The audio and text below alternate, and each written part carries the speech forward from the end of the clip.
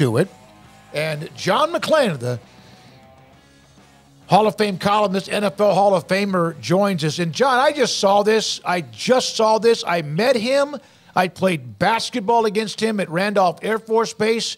Robert Reid passing away. I just saw that note from the Rockets and the Fertitta family. He was a genuine, great human being. He was played 10 of his 13 years for the Rockets. Uh, Bobby Joe Reid, I, the uh, broadcaster they had, Gene Peterson, always called him Bobby, Bobby Joe. And I, I never covered the Rockets or Reid. I watched them. And I've met him a few times it, just around town at events and he was always such a good guy, so respectful. Everybody liked him. At uh, Houston Sports Awards three years ago, he was in the VIP area, going around being so nice to people who wanted to shake hands. He's only, let's say, only 68 years old. That in this day and age, that's too early. I haven't heard anything about it being ill, but I haven't seen anything yet that explain what happened. John, the off season is uh, on on us now and free agencies coming up. Do you see the Texans, given that CJ Stroud was so good so quickly there, doubling down and making some big free agency moves on guys like Mike Evans or maybe like a Saquon Barkley, someone to come in and help help build that offense out and take it to the next level? Absolutely not. That's not been their MO in their rebuild, which has gone pretty well so far. They have they have refrained from giving big contracts that come back and bite them in the butt. And I think that's very wise. They got two really good receivers, Nico Collins and Tank Dell. Both of them were third round picks. You can get receivers. This is a talented and deep draft. You do not need to draft a receiver unless you have a chance to get somebody like Marvin Harrison Jr. But you can take other positions and get the receivers in the second, third, and fourth round. Now, I think they will try to sign, re-sign Dalton Schultz because they have no other tight end. Uh, Jordan, who had a, had a good playoff, but he's more like an H back. He's not a tight end. And Dalton Schultz, people said he can't block because of the Cowboys. Well, down here, he blocked his butt off because they emphasize it. And if you don't block and you're a receiver and a tight end or a running back, you are not going to be on the field. So they need to re-sign him. And they do need to look for another receiver. John Metchie III, who overcame cancer and a torn ACL, he played healthy this season and he flashed every once in a while. So next will be very telling for him. You know, he get he gets a mulligan for whatever he went through, and they traded into the second round to get him. So they will draft another one.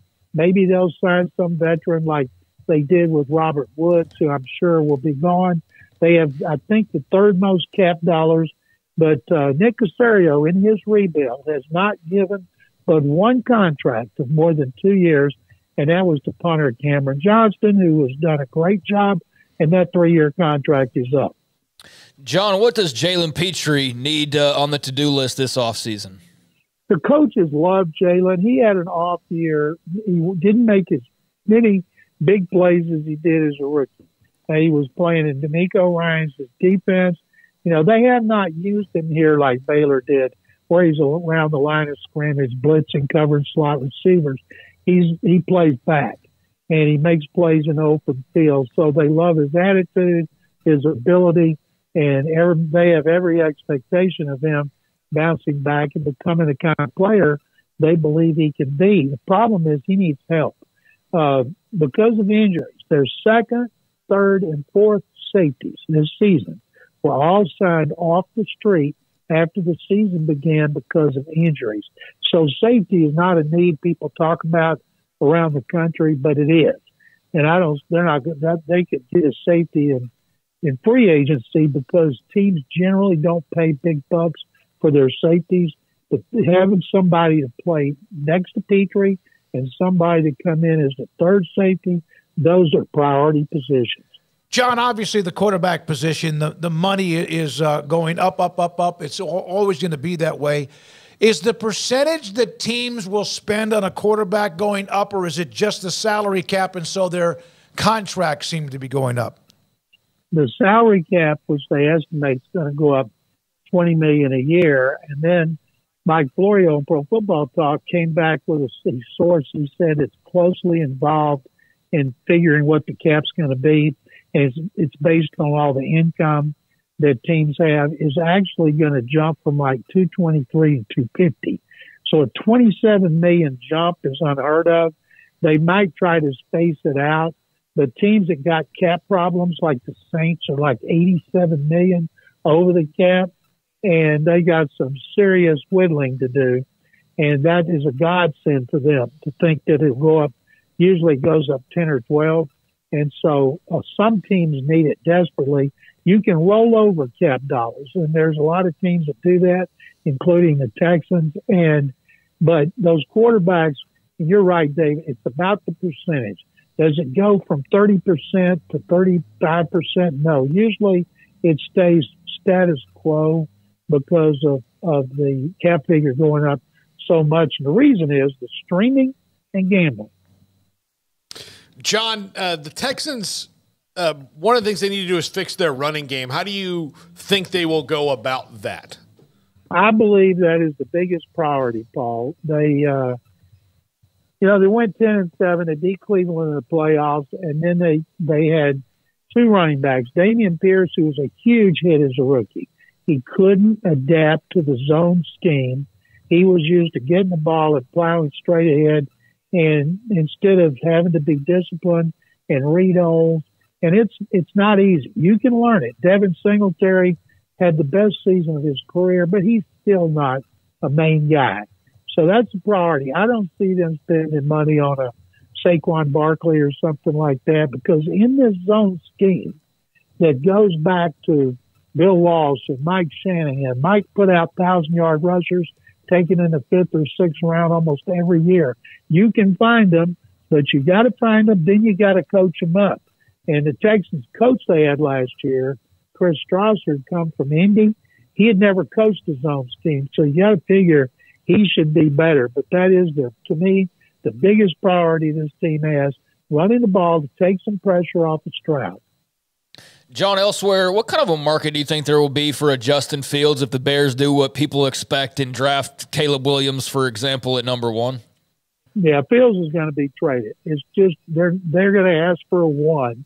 I don't think they'll get a one but everybody thinks they'll get a two and, and another couple of picks maybe in 2025.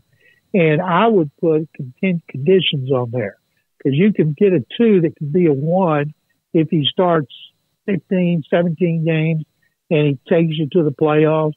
Uh, I wouldn't just do it straight up. Atlanta, everybody talks about Pittsburgh. Pittsburgh's never had a quarterback like him ever. I don't see all of a sudden the Steelers changing their philosophy and going for a quarterback who likes to run as much as he does. And if I'm him, I want to go to Atlanta after playing Chicago. I want to go indoors. I'm tired of all that wind. It flows in off the lake, off of Lake Michigan. And, uh, there will be a market for him. Minnesota, Minnesota can't re-sign Kirk Cousins. Then they should go for him. But whoever trades for him, Craig, one good season, they're going to have to pay a lot of money for him. And if he doesn't work out in one season, then all of a sudden he's going to be another one of those quarterbacks who were bust. I feel bad for him, but he's been poorly coached and hasn't had a lot of talent around him.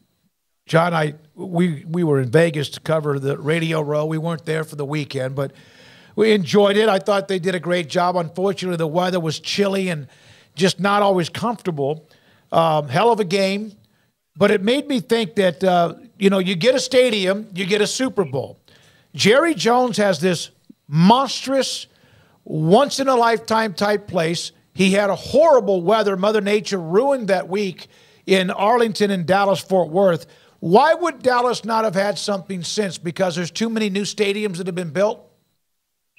Yeah, but none of them has the capacity. You know, I always wonder, no, none of them have the suites. Now, Atlanta, which had ice storms twice, got another one because they built a new stadium. You build a new stadium, you'll get one. When Tennessee builds its new stadium, there'll be a Super Bowl in Tennessee.